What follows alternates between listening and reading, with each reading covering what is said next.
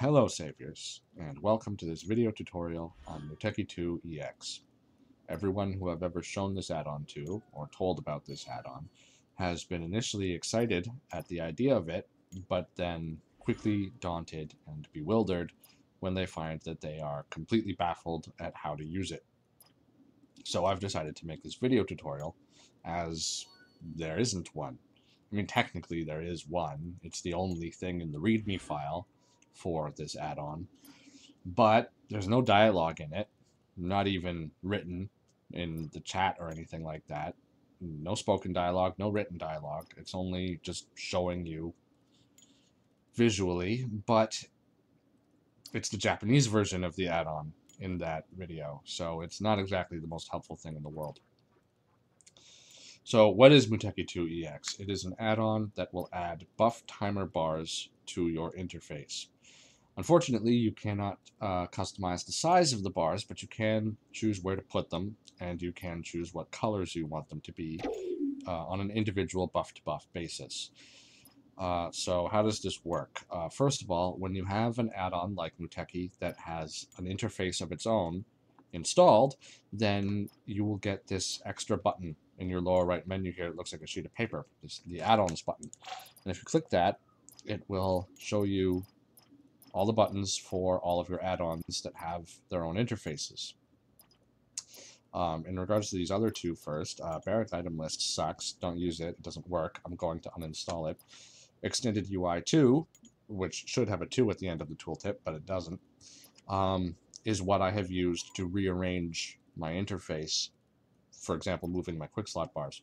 I will be making a video tutorial on that add-on as well hopefully it'll be a little bit less rambly than this one. Uh, Muteki 2 EX is the add-on we're going to be looking at now. And when you first install this add-on, the first thing you're going to notice is this darkened square. And everyone is always like, ah, what is this square? I don't know what this is. Why is this here? Uh, this is the area where your buff timer bars will appear. If I, for example, cast my Divine Might, then here you can see it's in the box. Or if I cast Revive, you can see it's here in the box. And you can move the box wherever you like. And there's this is it's currently set to fixed. There are two options here, this fixed or trace. Uh, trace will put the bars over your head automatically. Um, and you can unlock it here too, but you see it just pops back because it automatically traces your character's location, hence the term trace, and distance, so that it will, you know, automatically adjust as you zoom. It doesn't seem to adjust very well, because when I zoom out, you know, it goes over my face, but whatever. I don't use trace anyway, although I can see why some people might want to use trace. But I prefer it for on fixed for focusing reasons. I like to have everything all up in one place that matters.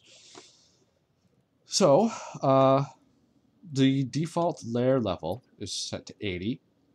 What is a layer level? Well, this determines what it will be drawn on top of or below. For example, if I open my inventory and I move the bars over, we see that it goes below the inventory. The bars do not show above. But if I change the layer level, if I raise it to say 800, then now the bars appear over top of the inventory. If I set this back to 80, then they're now below the inventory again. So that's what a layer level is. Everything in your interface has a layer level. Now, by default, this show gauges below specific buff time in seconds setting is set to something rather low. I don't remember exactly what it's set to, but it's not particularly high. I have it set to 6,000 so that Muteki can show buffs that are 6,000 seconds or less in duration.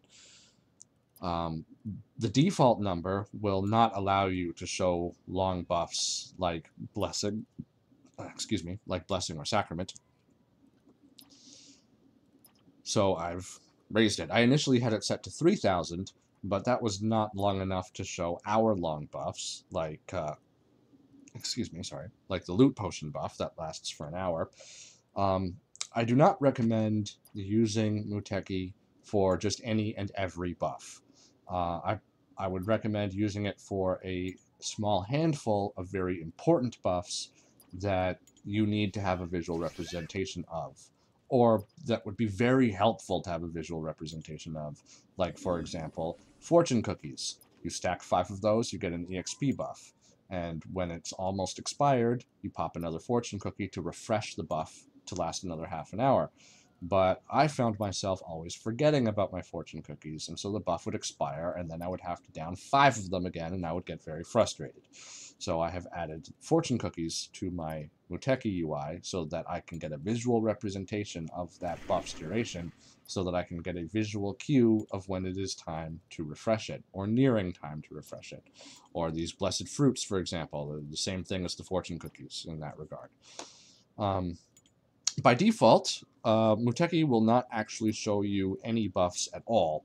Uh, this menu is empty by default, and you have to add your buffs to Muteki in order to get them to actually show.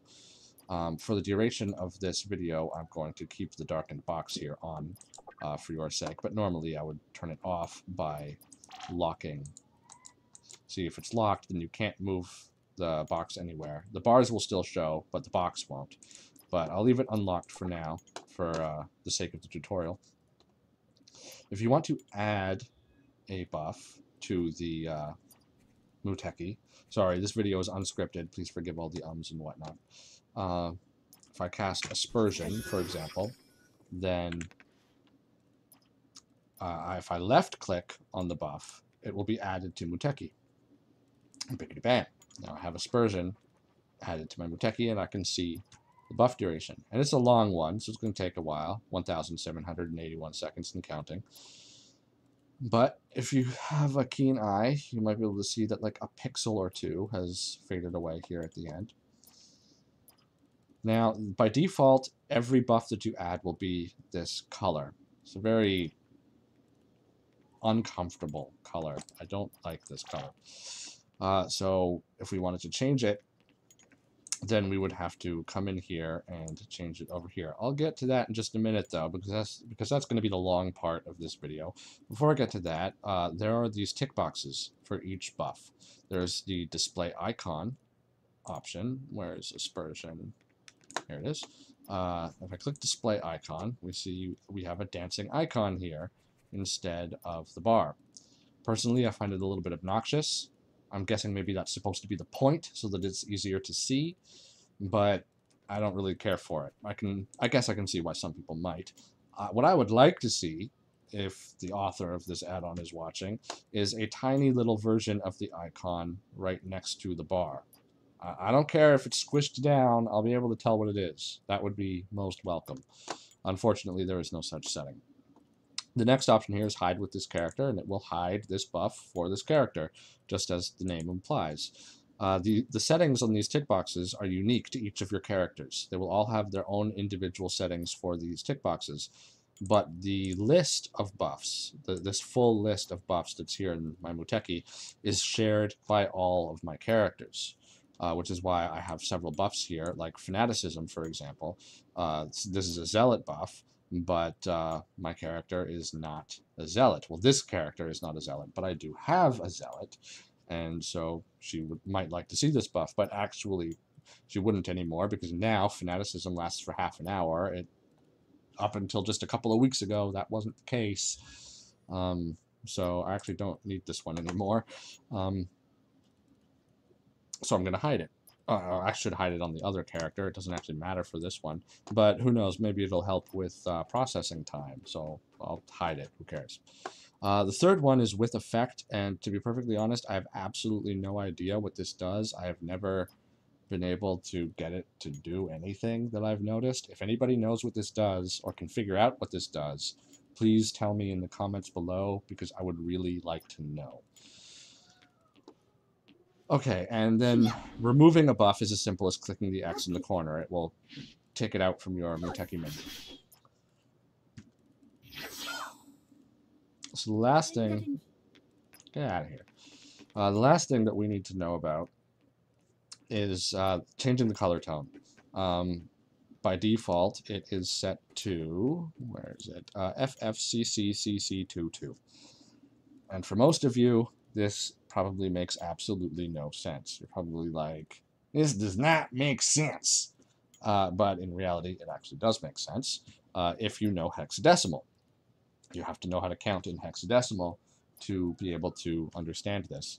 Uh, and so I'm going to teach you how to count in hexadecimal, but before I do that, I will point out that these first two digits are the opacity. The higher this is set to, the more visible the bar will be, the, or the more opaque the bar will be. The lower this is set to, then the less visible, or the more invisible, you will, uh, that the bar will be, if you will, I mean, sorry. Um, this video is kind of all over the place, but I'm not restarting it again. I've done this like four times. Uh, the next two digits here, CC, are the amount of red in the bar. The higher that these two digits are, the more red the bar will be. The lower these two digits are, the less red the bar will be. The next two are the green. The higher that these two digits are, the more green the bar will be. And the lower these two digits are, the less green the bar will be. The last two digits are blue. The higher these two digits are, the more blue the bar will be. The lower these two digits are, the less blue the bar will be. When all of these are set to 0, the bar will be black because 0, 0 is no red, 0, 0 is no green, and 0, 0 is no blue. Biggity bam, no color. And if we set FF here at the beginning to 0, or 00, zero, I should say, because it always has to be two digits. You can never just put one digit. Hexadecimal demands two. Then, oh, how about that? Set it to fully visible white. That's unexpected. One, one, one, one, one, one. Okay, there we go. Now the bar is invisible. Apparently, if you set it to invisible black, it is fully visible white. It goes to the exact opposite. How about that? I just learned something. So, FFCCCC22, that's the default. So, okay, how do we count in hexadecimal? How does this work in order to know what to set these to? Well, in your normal method of counting that you are familiar with, it uses what is called a base 10 system.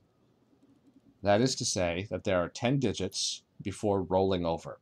And when something rolls over, then the leftmost digit is raised.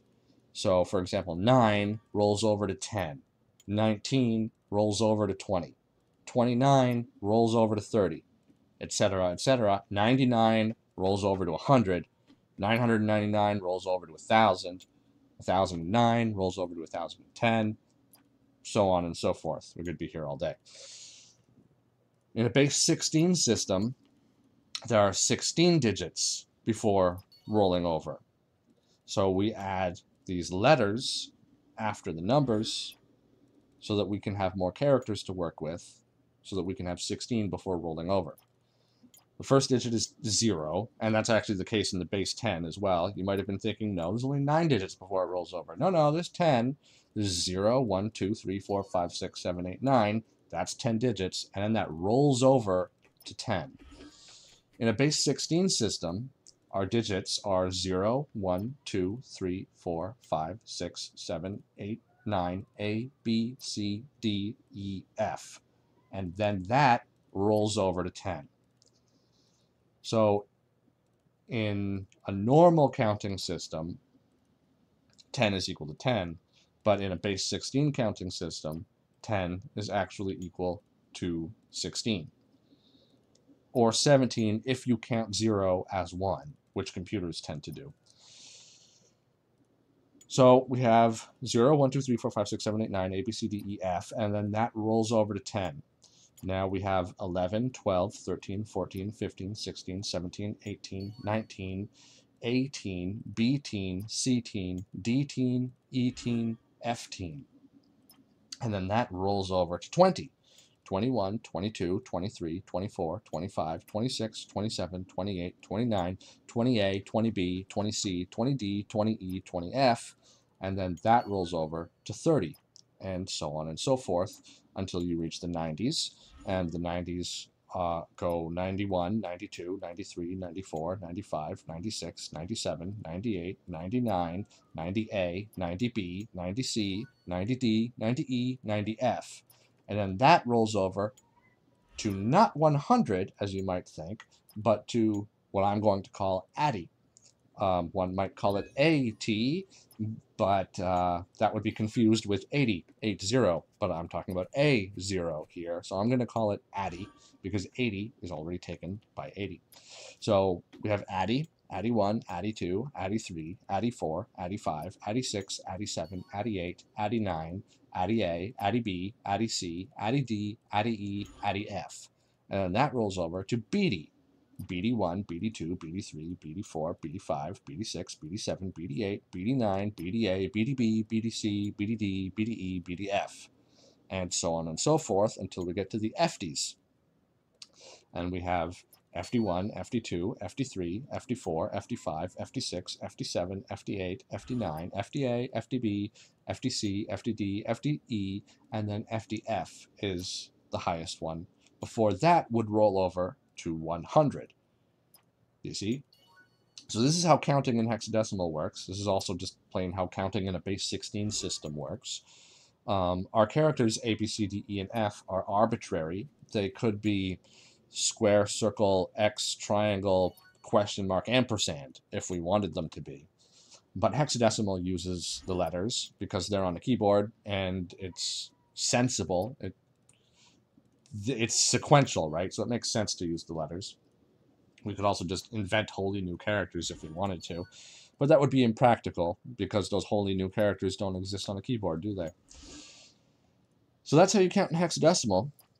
And uh, that's how you determine how you want these, uh, these settings in your Muteki to be. So I don't have the list written out in front of me, but I want to say that the the very middlemost character would be 80C, I think, or 80C, no, 86, no, 88, yeah, 80, yeah, 88, I think, I think, because there's going to be 16 in both directions, and 8 is the middle of 16. So yeah, 88, I think, is the middle. So if I set this aspersion's uh, opacity to 88, and the bar is now 50% transparent and 50% visible. So remember, 0 is transparent, and FDF is visible. So high means more visible, low means less visible. So if I set this to, say, 30, then it's mostly invisible.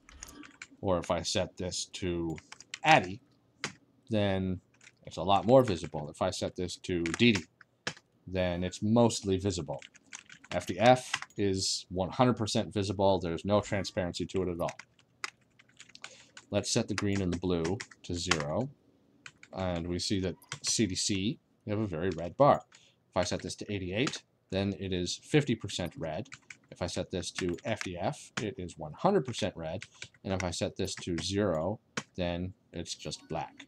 Or if I set this to, say, 15, then we've got some red here, but it's still mostly black. And this applies to the other colors as well. If I set these two digits, the green, to 15, then we have some green, but it's still mostly black. If I set it to 88, we're half halfway as green as we can be. And if I set this to FDF, then we're all the way as green as we can be. Likewise, with the blue, if I set this to 15, we've got some blue, but it's still mostly black. If I set this to 88, we're halfway to as blue as we can get. And if I set this to FDF, we are as blue as we can get. And we can combine these two. So if I set the red and the blue to 88, then we are halfway as pink as we can get or if I set the red to FDF and the blue to 88, then we've, we've got more red in the mix than we did before. Or if I do it the other way around, set the blue to FDF and the red to 88, then we now have more blue in the mix than we did before, you see? And let's just, for good measure, let's throw in some green at 80A, and biggity bam, we've got this actually rather pleasant pale baby blue. Very pale baby blue. and uh, that's how you customize the colors on your Muteki. Uh, so I'm just going to go ahead and remove that because I don't normally use aspersion on my Muteki, and I'm just going to uh, actually, you know what? I'm going to lock this and show you a bunch of bars together all at once.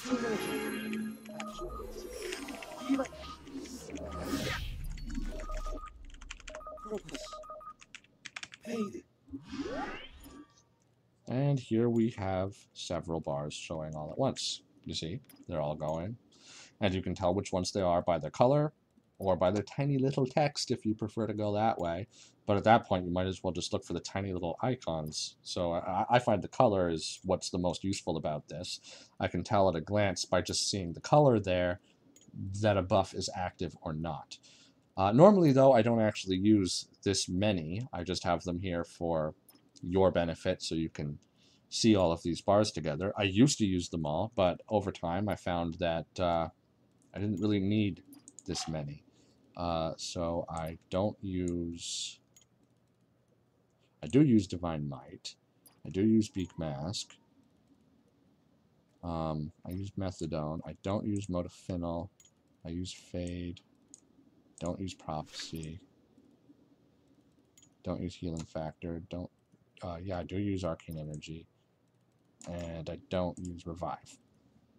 Because uh, those things are just not necessary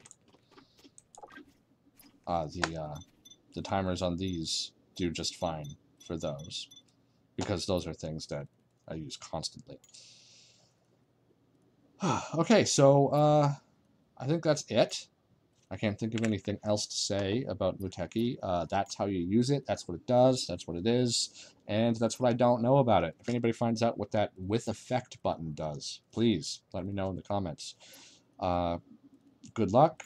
Have fun and uh, install lots of add-ons. Well, maybe not lots. Install a few add-ons. They're good. Uh, also, uh, on that note, uh, you, you, may notice that my top bar here is not shunted over to the right. Uh, that is due to an add-on that I made myself called Unshunt That Bar. Go download it. It is awesome. Uh, have a good one, everyone.